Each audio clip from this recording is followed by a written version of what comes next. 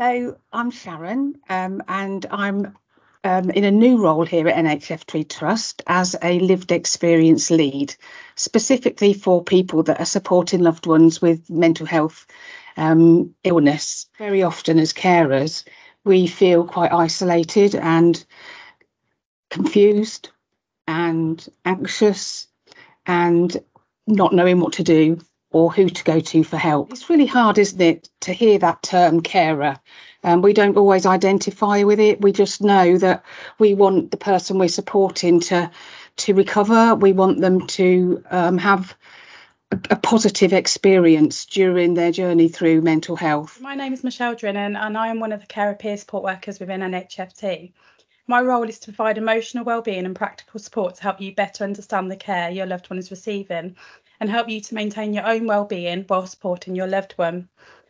I do this through lived experience as a carer myself, and as Sharon says, it's important for us to make changes within services to be able to show that carers are just as important. And um, we know that you go through many emotions while supporting your loved one, and we can provide you with the support and understanding um, from being a carer myself, using my lived experience, I can help you access the support you may be needing, um, and also to help you keep yourself well while doing so, and just also letting you know that it's okay to do that.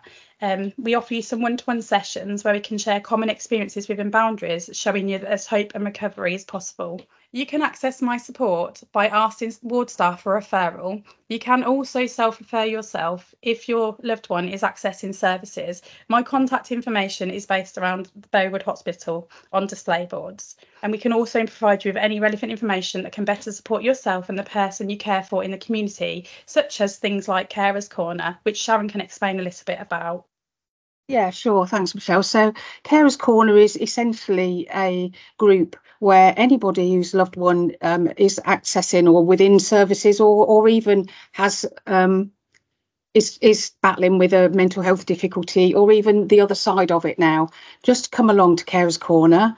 Um, the contact information is here.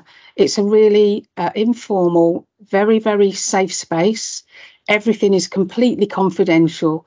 Um, and when you meet with other carers there, you'll find you're not on your own.